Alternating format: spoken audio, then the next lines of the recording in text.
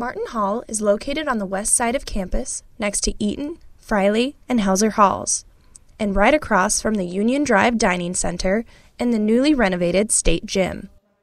Built in 2004, this co ed building offers double suites, four person suites, and two six person suites.